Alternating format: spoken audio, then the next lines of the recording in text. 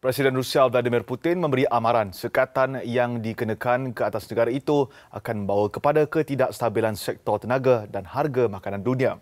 Dalam sidang media di Moskow, beliau menegaskan Rusia sentiasa menghormati tanggungjawabnya sebagai antara pembekal utama dalam sektor tenaga dunia. Jelas Putin, tindakan Amerika Syarikat dan negara Eropah mengenakan sukatan import bahan bakar dari Rusia jelas membawa impak besar ke atas dunia. Justru Moskow tidak harus dipersalahkan di atas kenaikan harga minyak. Хорошо знаем, они призывают своих граждан затянуть пояса, одеваться потеплее и, в общем, указывают на те санкции, которые они вводят против нас, как на причину ухудшения положения у них.